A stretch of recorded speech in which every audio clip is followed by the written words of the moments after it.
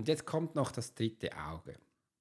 Da muss ich jetzt sagen, da habe ich, äh, musste schmunzeln, als Alfred das gesagt hat, alles kannst du noch ein bisschen dritte Auge erzählen, aber nur, wenn das natürlich auch diesem Rahmen das äh, passend ist. Und ihr wisst, ihr dürft mich alles fragen, darum ist alles passend. Und ich habe dann auch Alfred gesagt, Alfred, ich will zuerst noch von dir noch wissen, was ist das dritte Auge, weil ich merke, viele Menschen sehen das unterschiedlich und viele Menschen haben das Gefühl, wir haben ja da wirklich ein drittes Auge. Die einige sagen, das dritte Auge sei das, äh, die Zirbeldrüse, andere sagen, es sei wieder was anderes. Und da bin ich zum Teil völlig durch. Na, was ist es denn jetzt? Weil physisch sehe ich es ja nicht. Ich gehe einfach damit so ich habe zwei Augen, links und rechts. Aber wenn ich mich jetzt konzentriere, habe ich wie so einen spirituellen Sinn, sage ich jetzt mal. Kann das dritte Auge sein äh, wo ich für mich vielleicht mehr Informationen bekommen kann. Und äh, als ich das wie gecheckt habe, wusste ich plötzlich so, ja, ich kann ja viel mehr mit Menschen lesen, kann Informationen abholen. Und übrigens, ich frage mich heute noch, wieso, dass ich mediale Fähigkeiten habe. Und ich frage mich immer noch, ist es dann jetzt wirklich medial oder lese ich jetzt einfach den Mensch? Und ich habe mich dann so gesagt, Alex, was du machst, du liest Energien. Also muss da ja noch eine Energie sein, die es gibt, Anscheinend ist sie ja tot, aber irgendwie kann ich die anzapfen. Also habe ich gemerkt, okay, mach mal diesen Stress weg mit Tod und Menschen so, aber ich weiß, ich kann Energien anzapfen. Das war so, yes. Äh, und, ich wusste dann auch, irgendwie funktioniert es. Irgendwie habe ich da mehr Infos als andere. Vielleicht auch nur, weil ich es mache, keine Ahnung was. Ähm, und das ist cool. Also, das ist eine, eine coole Sache für mich. Und das mache ich wie folgt. Also, ich konzentriere mich früher eben so auf einen Punkt. Und das Erste, was kommt, das kommt über meine Sinne sind Informationen. Ich habe gelernt, wie ich die, diese Informationen aufnehme. Das ist wie eine zusätzliche Sprache. Die nehme ich. Ich habe auch gelernt, wenn ich den ersten Input nicht nehme, wird auch kein zweiten kommen, weil der erste ist da. Da habe ich aber auch gesehen, diese Energie ist sehr intelligent. Die schicken dir so Brotkrümel hin und du fangst sie und willst sie nicht verwerten. Dann bist du auch selber schuld, wenn du nicht mehr Informationen bekommst. Wegen dem Hohlprinzip. Also habe ich auch aufgehört, mein Ego abzuschätzen. Ist jetzt diese Information gut genug oder ist sie doof? Das war für mich ein Riesenthema früher, weil es hat mir immer geheißen in der Ausbildung, Alex, du darfst nur ähm, Facts liefern. Also Facts sind so Highlights. Und wenn du 20.000 Menschen liest, merkst du halt, nicht jeder Mensch hat Highlights. Wieso? Weil das sein Leben ist. Hey, viele Menschen haben ein verdammt langweiliges Leben. Also die wären nicht alle 92 und machen noch mit ähm, 80 Bunching Jumping, haben 100 Freunde und gehen da auf die Pauke, was auch immer Spannung ist, oder haben 20 Häuser und fliegen nur umher. Keine Ahnung. Nee, da gibt es Menschen übrigens, die kommen nach Hause, hocken auf die Couch und schauen fern. Das ist ein Leben anscheinend. Und ähm, das ist für die spannend. Für mich ist das langweilig. Aber über solche Sachen rede ich dann halt. Und ähm, da habe ich gesehen, okay, kann ich, sobald ich aufgehört habe, meine, meinen Filter rauszutun, also nicht, was für mich spannend ist, sondern, ist das wie, wie Kunden, Kundenbewirtschaftung bitte, ähm, erzähle ich das. Und wenn sie dann in Tränen ausbrechen oder sagen, das war ja super geil, dann sage ich, ich habe es getroffen. Also mein, mein, mein Value, also meine Wertschätzung an Leben total rausnehmen. Es geht da wirklich um das Vis-a-vis. -vis. Das war der nächste Brocken, wo ich extrem hart arbeiten durfte. Äh, die, also die Information bekommst du schnell. Aber danach damit umzugehen, habe ich gemerkt, das ist für viele, viele ganz schwierig.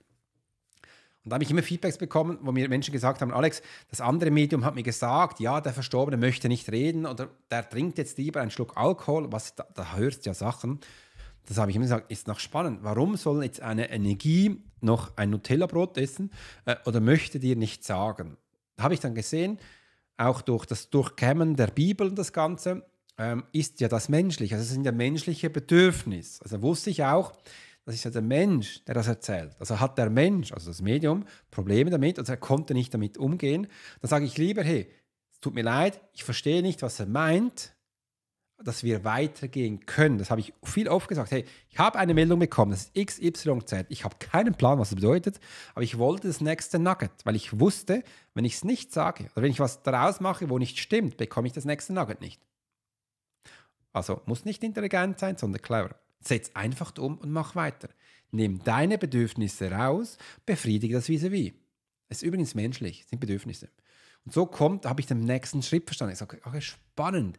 Also wenn die Menschen darin, die machen sich ja noch selbst schlecht. Erzähl doch lieber die Wahrheit. Habe ich begonnen, Wahrheiten zu erzählen. Habe ich auch gesagt. Ich hatte mal einen Mann, Das darf ich jetzt sagen, er ist gestorben. Er war 98. Er hat herausgefunden mit 98, dass seine verstorbene Frau eine Edelprostituierte war und sein Haus eigentlich ein Bordell war. Sie hatte Videokameras eingerichtet, hat eine zweite Tür gemacht. Sobald der liebe Mann draußen war, sind hintenher die Klienten reingekommen und sie hat sie alle befriedigt. Am Laufmeter. Das erste Kind war von seinem besten Freund, aber nie von ihm. Die Tochter war von einem Cousin, aber nie von ihm.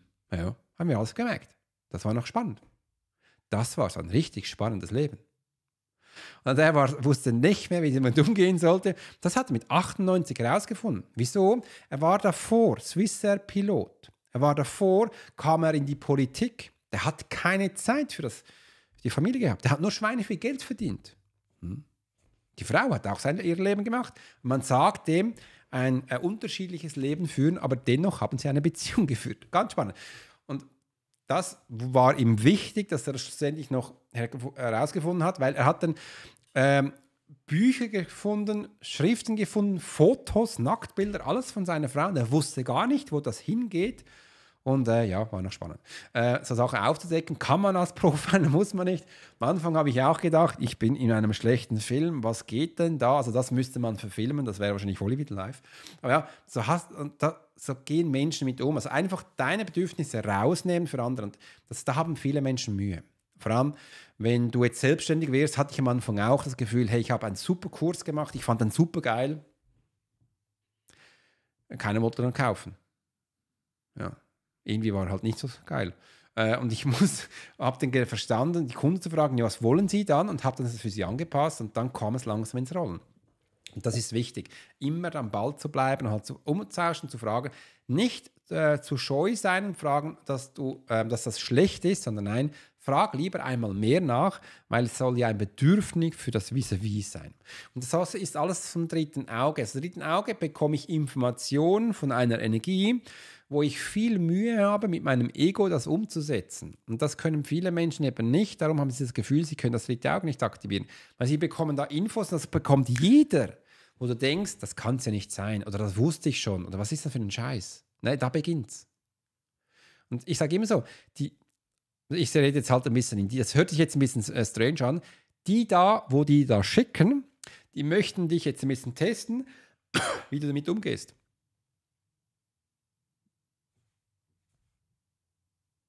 Und je nachdem, wie gut du dich privilegieren willst oder in Stellung bringen kannst, kannst du es so sagen, wie du willst. Sei einfach darauf aufmerksam, wenn du zu viele Scheiße erzählst, wirst du keine Nuggets mehr bekommen. Die schauen dann schon, dass du dann nichts mehr bekommst. Und dann bist du dann wieder genervt. Dann sind wir wieder da, wo ich dir am Anfang gesagt habe, nämlich Selbstsabotage. Also als ich mich begonnen habe mit diesem dritten Auge, sage ich jetzt mal ganz einfach, Alfred, äh, äh, heraus auseinanderzusetzen, habe ich sehr viel gelernt. Das war für mich so meine krasseste äh, Persönlichkeitsentwicklung. Viel mehr als nur Sensitivarbeit. Sensitivarbeit ist für mich Menschen lesen. Das ist für mich relativ einfach. Das andere ist so, da habe ich wirklich harte Schule gemacht, habe ich fühlen gelernt, habe ich mich zurückstellen gelernt oder mich nach vorn bringen gelernt, habe ich gemerkt, Alex, um dich geht es gar nicht. Es geht um das Wissen wie. Hör mal auf, deinen Scheiß reinzubringen. Ach so. Äh, und das war für mich echt sehr anstrengend. Und immer wenn ich so diese YouTube durchgehe, TikTok, denke ich immer, das, diese Menschen sind ja sowas von selbst reflektiert, das ist ja brutal. Und wenn du da mit ihnen redest, merkst du, wie stark das Ego bei denen ist und dass es hauptsächlich um Geld geht und um andere nicht. Und ist noch spannend. Und ich habe jetzt auch für mich gelernt, im Leben geht es nicht um Geld. Es geht um Energie.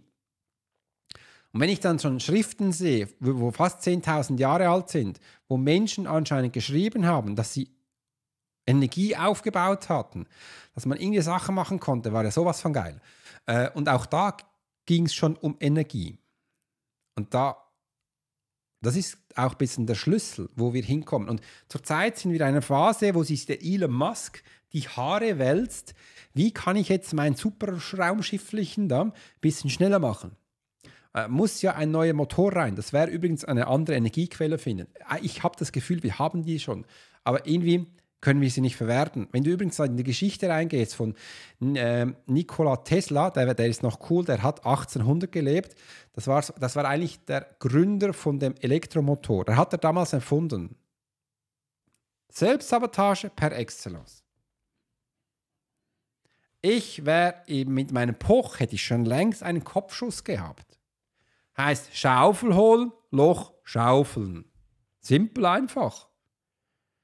Auch da, es ist immer, es ist immer einfach. Nur das da oben sagt alles was anderes. Und das äh, wollte ich heute gerne mitgeben. Also auch viele Sachen, die ich erzähle, immer die Menschen sagen, ja, es ist simpel, es ist einfach. Ja, es ist immer einfach, aber ich tue es nicht. Wenn du es tun würdest, würden wir nicht darüber sprechen. Das ist mega spannend. Darum auch, es ist einfache Sachen. Das, was du denkst, dahin geht die Reise. Und das sind ja auch Sachen, die wichtig sind, die wir äh, auseinandersetzen dürfen. Es ist dann noch jemand im Wartezimmer, ich weiß gar nicht, wer das ist. Nehme jetzt den mal rein. Ähm, und so können wir die Sachen austauschen und wissen dann eben auch, wie das Besten schlussendlich auch funktioniert. Und hoffe, es hat euch gefallen. Hoffe, ihr konntet einige Sachen mit rausnehmen. Und jetzt möchte ich von euch mal hören, ähm, welche Fragen da so unterwegs sind.